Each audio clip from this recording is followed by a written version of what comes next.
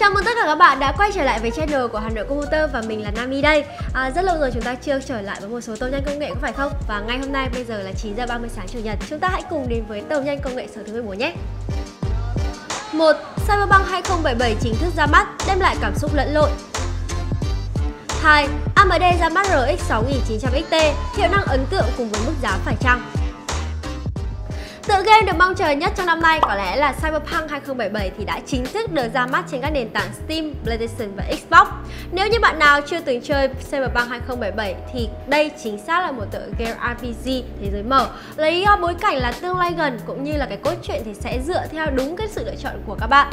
À, bên cạnh đó nếu như bạn nào đã từng chơi các siêu phẩm như là Witcher 2, 3 thì có lẽ là biết được cái độ tín nhiệm của nhà phát hành game CD Projekt Red là như thế nào rồi. Thế nên là có thể yên tâm thoải mái mua game và về chơi thử nhá. Nếu như xét về mặt câu chuyện thì có lẽ Cyberpunk 2077 thì có những cái nhiệm vụ chính khá ngắn. Nhưng mà bù vào đó thì chúng ta sẽ có những cái nhiệm vụ khám phá thế giới xung quanh cực kỳ là hấp dẫn. Và có thể nói túm gọn về một ờ, tựa game này ở đây thì mình xin phép được trích dẫn một cái đoạn nho nhỏ tổng kết ở trên trang IGN như thế này.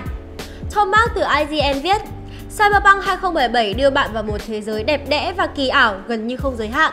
Game mang tới vô vàn sự lựa chọn để xây dựng nhân vật của bạn, tiếp cận nhiệm vụ và đối đầu với kẻ thù. Và các quyết định của bạn có thể là những tác động rất tự nhiên tới cả thế giới xung quanh lẫn những con người đang sống trong đó. Những câu chuyện này có thể là xúc động, hài hước, đen tối, thú vị và đôi khi là tập hợp tất cả những thứ đó. Nhiệm vụ chính có thể hơi ngắn hơn mong đợi và cũng không có hướng dẫn rõ ràng bạn phải làm gì và lúc nào để có tác động rõ ràng tới kết quả. Thế nhưng mà bù lại vào đó thì vô số nhiệm vụ ngay từ đầu và có những lựa chọn đa dạng, tác động mạnh mẽ khi mà thực hiện. Nhưng những lỗi nhỏ lại thường xuyên xảy ra và lại có thể giết chết một tựa game. Nhưng Cyberpunk 2077 với thiết kế game cực kỳ linh hoạt đã biến nó trở thành một tựa game cực kỳ đáng chơi. Như IGN đã giới thiệu thì có thể thấy là Cyberpunk 2077 vẫn gặp khá nhiều những cái lỗi vặt vãnh. Thế nhưng bù lại vào đó thì đây vẫn là một cái tựa game đỉnh cao và đáng để chúng ta có thể trải nghiệm. Và cấu hình ở đây được cho là khá nhẹ khi mà chỉ dùng tới là Core i5 thế hệ thứ 8 Rồi 8GB RAM và GTX 780 Tuy nhiên là cái việc tối ưu hóa phần cứng thì lại chưa được tốt lắm. Thế là khi các bạn muốn à, thiết lập game ở mức chế độ là medium setting Và trải nghiệm game ở chế độ là Full HD khi mà đạt trên 60 fps thì chúng ta sẽ vẫn cần những con card như là 1660 Super, hay cao hơn là 2060. Còn 4K thì chúng ta sẽ vẫn phải lựa chọn là 3080 vì đó là cái lựa chọn tối thiểu để dành cho mức thiết lập ở medium. Thời gian tới thì chúng mình sẽ cũng sẽ cố gắng là test game để gửi tới cho các bạn xem có những gì hay ho, hấp dẫn hơn trong cái phiên bản mới này hay không. Nên các bạn hãy đón xem nhé. À, mà quên hiện tại thì mức giá bán của ờ, Cyberpunk 2077 đang là 900 000 trên Steam Còn là 1,4 triệu đồng trên console. Đó thì có cái sự chênh lệch ở đây một chút thì do là cái những cái chính sách hỗ trợ của Steam so với Việt Nam. Và tiếp theo thì sẽ là tin vắn cuối cùng trong bản tin tầm nhanh công nghệ số 14 tuần này của chúng mình. Thì đó là về thông tin AMD cho ra mắt chiếc card đồ họa siêu đỉnh của họ là RX 6900 XT Card đồ họa mạnh nhất của họ cho tới thời điểm hiện tại.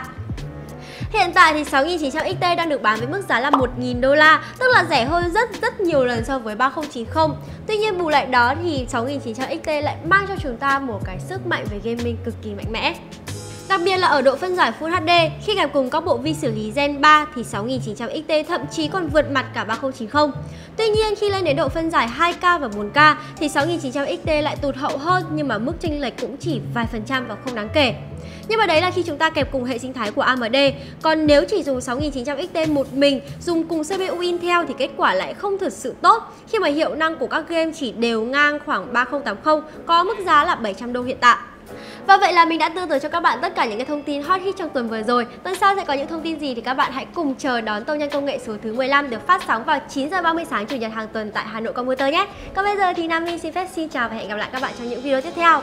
Bye bye!